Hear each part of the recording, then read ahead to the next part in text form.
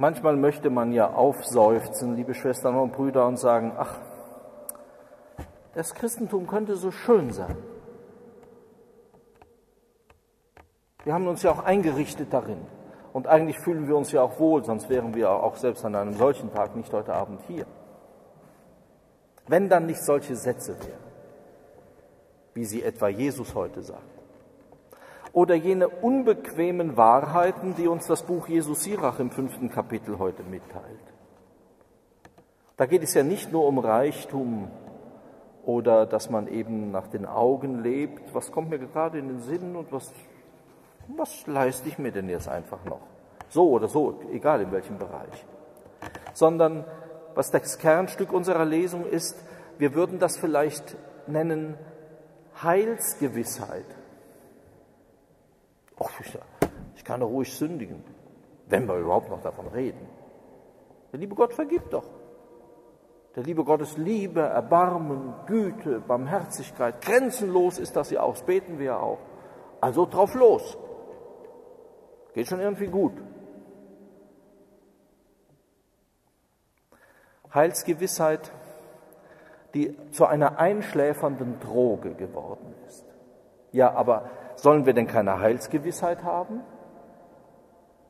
Vom Heiligen des heutigen Tages, Polycarp, der immerhin noch den Apostel Johannes kennengelernt hat, einer der ersten, aus der ersten Generation der, Nach, der Nachapostelzeit, als der mit 86 Jahren, wenn wir uns eine Person vorstellen, einen Kreis von 86 Jahren in ein tobendes Amphitheater geführt wird und er es dreimal ablehnt, Christus abzuschwören, von dem er sagt, warum soll ich dem Cäsar huldigen? Ich habe einen König.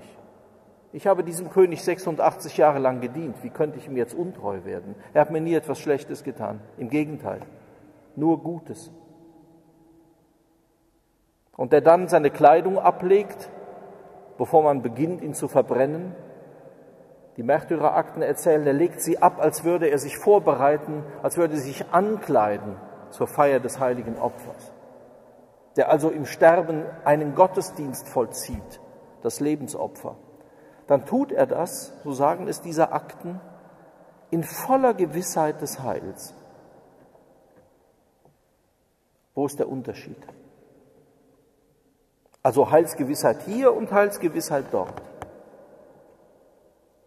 Der Unterschied ist, dass die Heilsgewissheit bei Polycarp zu einer Kraft geworden ist, die größer ist als dieses sterbliche, hinfällige Leben, die größer ist als alle Gegengewalt, als alle physische Gewalt, die man einem menschlichen Körper antun kann. Und das ist wahrlich viel, denn wir sind zäh.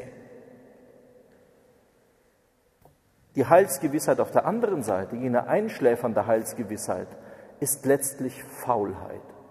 Nichts anderes als Faulheit. Wo stehen wir? Das fragen uns die Texte heute und der Tagesheilige.